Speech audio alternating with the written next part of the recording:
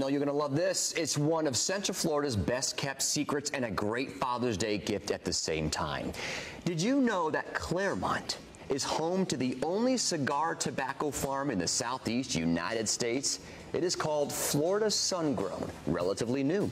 There hasn't been a cigar farm in Florida since 1977. FSG sells cigars all around the world.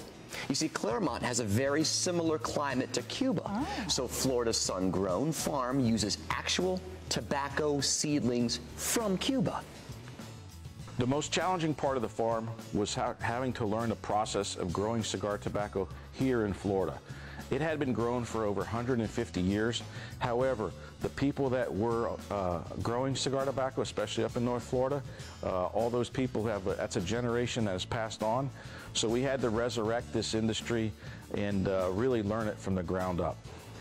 The most rewarding part of this whole journey is being able to see fellow cigar aficionados enjoying Florida sun-grown tobacco and having people really appreciate the fact that we were able to bring something back that had been gone for 50 to 60 years and bring back a tobacco and flavor profile that's totally unique and it's just when you see people enjoying the FSG cigars, that's the reward.